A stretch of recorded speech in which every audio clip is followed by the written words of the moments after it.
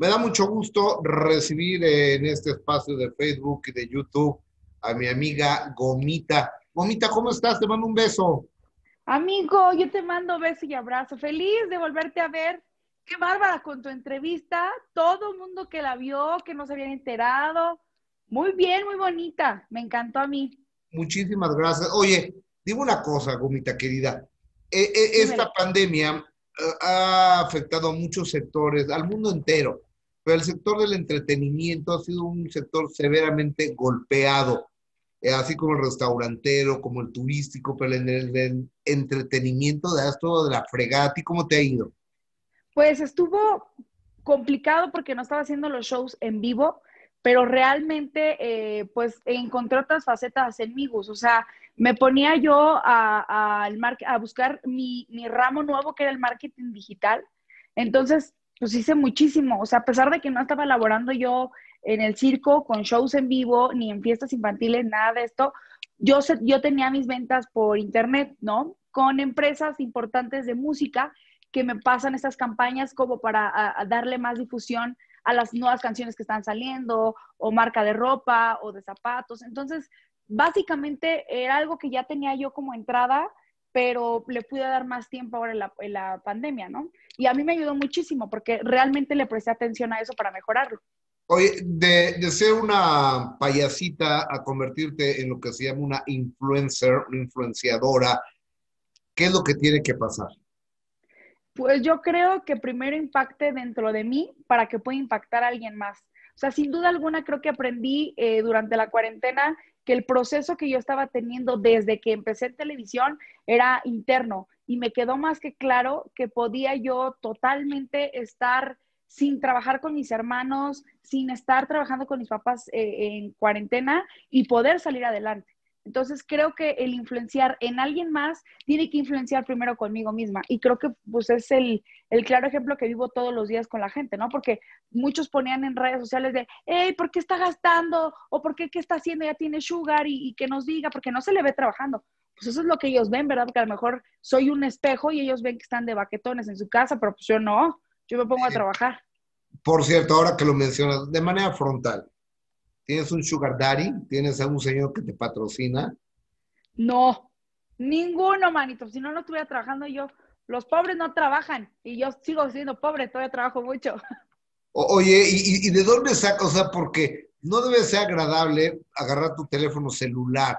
Ahora que subimos unas entrevistas tuyas, es que esa gomita que hace, lo que pasa es que es un sugar daddy. Eh, sugar daddy es, se, se entiende una persona mayor que le da dinero a una persona joven para andar con ella, ¿no? O sea, la, mantiene. Y este, no es nada agradable leer eso, ¿no, Gomita? Pues fíjate que ya sabes que estoy muy acostumbrada a todas las críticas, a todas, a todas. No es agradable cuando lo lees de alguien que quieres mucho. En este caso, pues, la gente que me ve, pues no la conozco. Quiero a mis fans. A los que no son mis fans, pues me da cosita, ¿no? Ver que tienen tanto odio en su corazón y vienen y me la avientan a mí. Pero yo creo que no me, no me afecta porque yo sé lo que soy, yo sé lo que valgo, yo sé lo que hago. Entonces realmente no es como que, güey, me duele que digan eso. Más allá de dolerme, me da risa porque digo, güey, ¿no ven en serio lo que trabajo? O sea, todos los días ellos ven un contenido y al ver un contenido todos los días o cada ocho días, pues es porque pongo a mi cabeza a trabajar, ¿no? O sea, realmente creo que tengo que realizar un contenido para ellos. Y pues nunca he sido conocida, creo yo, y lo han visto, pues porque tenga alguien que me esté manteniendo. Más bien, trabajo con toda mi familia y pues todos nos mantenemos aquí en casa, ¿no? Oye, ¿tienes novio? No, pretendiente, siempre lo he dicho. Ah, ¿A poco es el mismo pretendiente de siempre? No, siempre cambia. Soltera, pero nunca sola. Ah, ah, ¿Cuántos años tienes, Gomita? 26 recién cumplidos. Muchas felicidades. ¿Y hace Muchas gracias. tienes un novio? Eh, un novio formal hace dos años, tres años, yo creo. O sea, es mucho, ¿no? Sí, muchísimo. Pero ¿sabes qué? Eh, estoy contenta porque ya no dejo que entre cualquier güey a mi, a mi casa ni a mi corazón. ¿Y ahora qué, qué requisitos tienen que tener para entrar al corazón de Gomita? O de, em, más bien, ¿no? Sí, de Araceli. Pues primero, mucho amor propio, de esos que, güey, no dejen que nadie les grite, que nadie, o sea, que tengan los pantalones bien puestos porque yo soy ese tipo de mujer, em, que quiera y ame y adore a su madre, porque creo que es el, el ser humano que le dio la vida y como trate a su mamá es, o a sus hermanas, si es que tiene hermanas, es como me va a tratar a mí. Entonces, eh, creo que son piezas importantes para yo poder ver que, que puede funcionar algo con una persona, ¿no? El que quiera y ame y respete a su mamá o a sus hermanas, me va a hacer realmente en, dejarme, ¿no? Con un hombre. Oye, eh, Gomita, y de repente tú tienes trabajos en, en, tus canales de YouTube, en tu Facebook, todo eso, de cientos de miles de visitas, millones de visitas eh, en ocasiones, y que eso da una monetización por lógica, ¿no? Por eso lo hacemos Así todos. Es.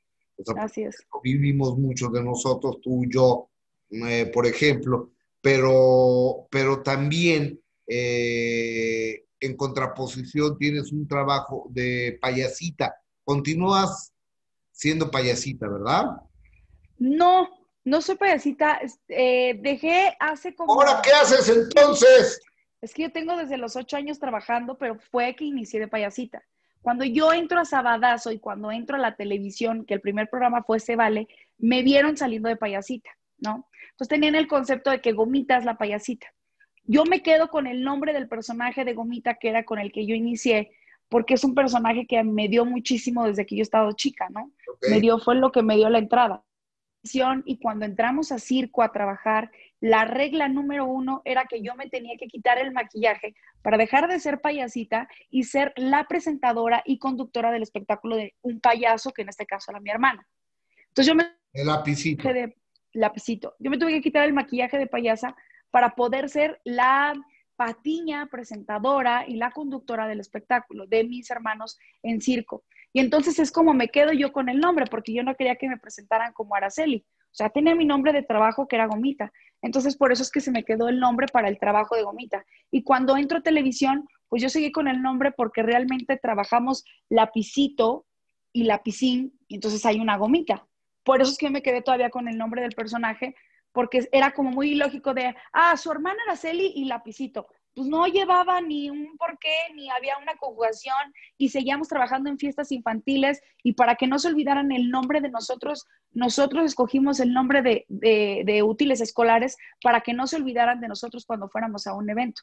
Entonces era más fácil, ¿no? Eh, pensando en, me, en, mercadotecnia, que teníamos que tener nombre de, de, un lápiz, una goma, que es algo que ocupan los niños en la escuela. Bueno, ahora ya es en línea, ¿verdad? Tiene que ser un iPad, a menos de que me cambie el nombre pero no. Voy a ver, Gomita, a un show. ¿Qué, qué, qué vas a hacer? ¿Vas a ser la conductora, la host? La condu sí, sí, sí, sí, es lo que ellos ven. O sea, realmente el, el, papel mío es el más bonito porque es el de ser la mala del cuento y que realmente pues la gente va a ver solamente a mis hermanos, ¿no? Que son en este caso para el público, para los niños. Y los papás, pues yo tengo el apoyo de todos los papás, porque ellos van a verme ah, a mí. No, sí. Entonces, no? Entonces, eso es, eh, ese es como el juego que tenemos durante el espectáculo, ¿no? Que los niños quieren ver a Lapicito y a Lapicín, y yo no, pues que se vayan porque es mi espectáculo y tu, tu, papá me viene a ver a mí. O sea, tú relájate, tú bien, ya los viste, ahora me toca que, que me vean a mí. ¿Sales ese es sexy, el juego. ¿qué? Sí, salgo sexy, y de hecho apenas ese tuve el pleito porque pues las señoras que no van al show no pagan, pero tienen los ovarios estar escribiendo ahí por mensaje, no voy a dejar ir a, a, mi marido, yo lo iba a dejar ir para que llevara a los niños, pero tú sales así, que no sé qué, y mis, mis hijos, y yo, güey, le contesté a la señora, no sea envidiosa, dije que su marido vaya a darse un taco, oiga, pues eso no lo tiene todos los días, deje lo que vaya, que saque a los niños, todavía que los va a sacar, güey, los va a sacar a pasear, entonces yo dije, güey, está enojada porque no la van a llevar ahí al circo, seguro, nada más va el señor con los niños. Pero yo creo que cada quien tiene su público. La piscina que tiene 14 años tiene niños de 5, de 6, de 7, de 10, hasta su edad. La las chavitas, o sea, tiene niños de 22, de 18 y esto. Oye, yo tengo fue- mi público de 25 para arriba. ¿eh? Le va muy bien y la música le está funcionando excelente. Entonces, cada quien tiene su público. Yo puedo decir groserías y los que me siguen a mí, que son de 25 para arriba, pues están a gusto, pero ahora que estoy en un programa donde estoy haciendo un programa de YouTube todos los días, ayer que me conecto con una fan, estaba con un niño y el niño de cinco años me grita, eso, mamona. O sea, güey. Eso, mamona. Eso, el niño, güey. Entonces fue como de, güey, ¿qué, pedo con la gente? Y realmente por eso es que no me afectan, porque yo sé que los comentarios que vienen es de gente que ni es mi fan, que ni me siguen. Yo, yo quiero y adoro a los que van y pagan por verme. Esos son los que me dejan. Oye, qué, qué bueno. Oye, pero ya no estás a gusto con, con tu cuerpo, con los cambios. a ver, yo dije, no, porque hay que asumir lo que uno dice también, ¿no? Hay que tenerlos, hay que tenerlos para reconocer. El otro día me preguntaron, a ver, Gomita, ¿cuántas cirugías tiene? dije, no, pues como 15 o 17. Creo que sí se me fue la mano, ¿no? Yo cuando lo vi dije, bueno, y ahora, este, este pinche Gustavo, pues cuántas cirugías me vio en persona que dijo, no, yo creo que son como unas 15, 16. Yo creo que son muchas. No, realmente. pues espérame, porque aparte me preguntan, Mónica me pregunta, le digo, a ver, ahí te va. Pómulos. Pómulo, pómulo no te, no, pues no he puesto. Ah, no, o sea, eh, eh, eh, es lo que yo dije, pómulos. Luego, la bichón. La bichat. La bichat. Luego se hizo lipo de papada. De papada. Después, este, mentón. Ay, mentón. Y después, boobies. De boobies, sí, sí, sí. Lipo. Pero todas fueron lipo, pero todas fueron, como fueron por año, y yo por año, porque imagínate meterte a cirugía en un año tantas veces, pues eso no es, primero no, no es este, no real, no puede pasar en un cuerpo normal. O sea, en un ser humano no le pueden hacer tantas cirugías en un año, ¿no? Entonces yo tenía que hacerlas por año porque aparte, güey, tenía que juntar dinero para hacerme otra cirugía, ¿no? Pues me gastaba el dinero de una y luego que juntarle para otra. Entonces yo por año, pues por eso me las hacía. Pero realmente, este, esta última que tal vez es por, por eso la, la intriga del de, por qué me, no me acepto o si me hago otra, pues no, más bien esta cuarentena me trajo la, como la incertidumbre de que ya estoy haciendo ejercicio y no lo podía hacer tan cómodo como tendría que ser el ejercicio. Porque al momento de hacer abdominales y acostarme por completo, pues me estorbaban los implantes, güey. Literal me estorbaban para acostarme. En las nalgas, en las nalgas, o sea, me estorbaban las pompas, como no tienes una idea. Y esto fue a, inicio, o sea, en cuanto dicen es pandemia, se cierra todo, que fue marzo, pues yo me la pasé ese mes en chinga haciendo ejercicio. Tuve, y afortunadamente estoy agradecida de haber puesto un gimnasio en casa. Y fue como de, güey, pues ya, ya tengo el gimnasio, ya estoy entrándole chido y todo, pero me estorban estas madres, me están estorbando, me duelen para hacer el ejercicio y no es cómodo. Y al ver yo, güey, que pues, realmente, pues, analizando, y realmente analizando, sentada, con un psicólogo, con un psiquiatra diciéndoles, güey, es que si analizamos mi trabajo, porque me dijeron, ellos te dicen, güey, ¿cómo empezaste? ¿Cuánto vales? ¿Quién eres? ¿Por qué tienes el nombre? Y te quitan todos esos tapujos de que, güey, es que mi familia, y es que soy por mi familia, y es que soy, no, güey, eres tú porque es tu talento y tú has, tú has sabido llevarlo. Entonces, al hecho de yo decirles, güey, pues empecé desde muy chica, y estabas operada cuando empezaste, pues no. Entonces es tu talento, ¿por qué aferrarte a algo? Dije, bueno, sí tiene razón. Entonces yo les... psiquiatra?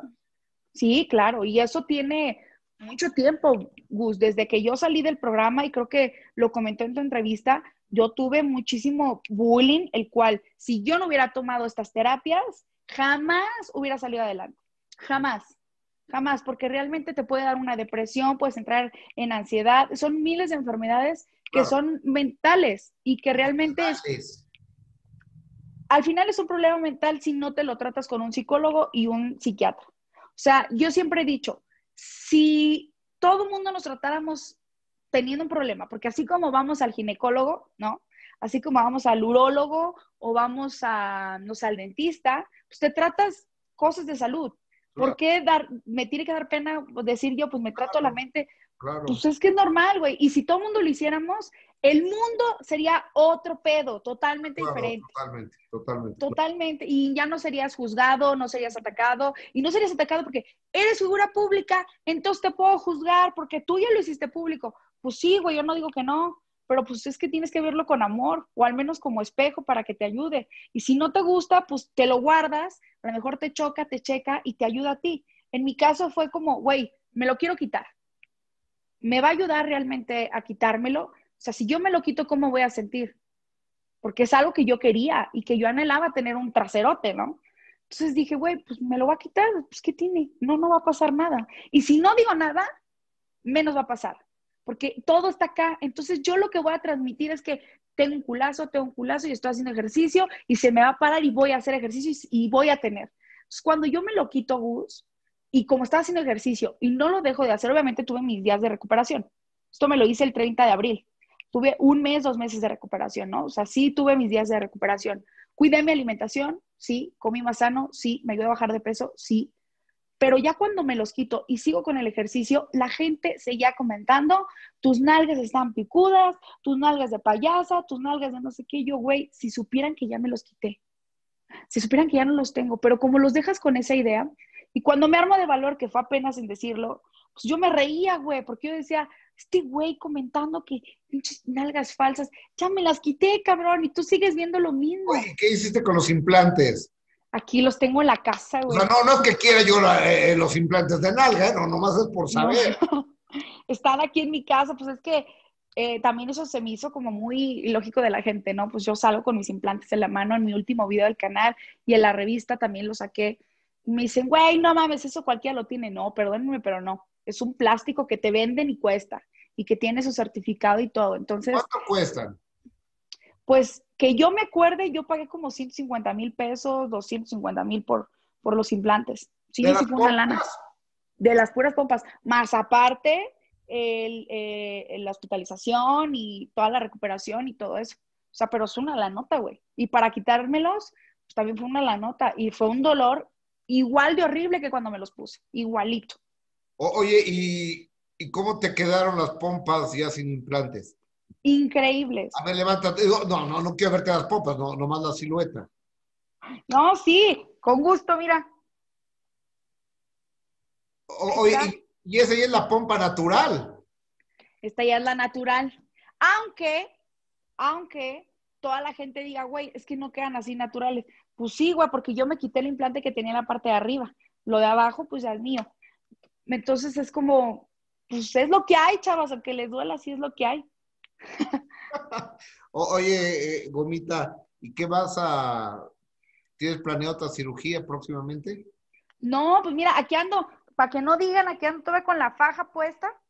Yo no dejo ahorita el ejercicio, la alimentación me está ayudando mucho. Nunca he dejado como todo, eh, eh, como que en, en manos de los cirujanos, ¿no? Creo que también es responsabilidad mía clara y honesta con eso, porque como tú lo mencionaste, güey, lleva no sé cuántas lipo. Pues sí, güey, porque a mí me gusta comer. Al chile yo sí les digo, me gusta comer y como me gustaba comer, me gustaba operarme porque decía, pues ya comí en un año, me recupero en otro año y me, me hago otra.